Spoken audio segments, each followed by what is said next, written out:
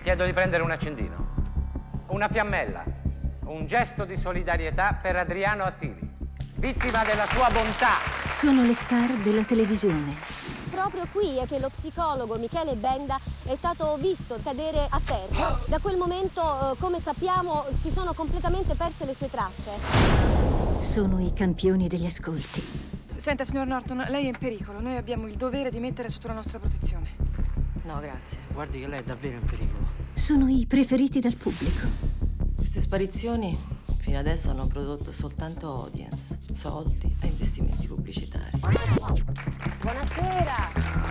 Allora, questa sera abbiamo con noi... Adesso qualcuno vuole renderli protagonisti del loro ultimo spettacolo.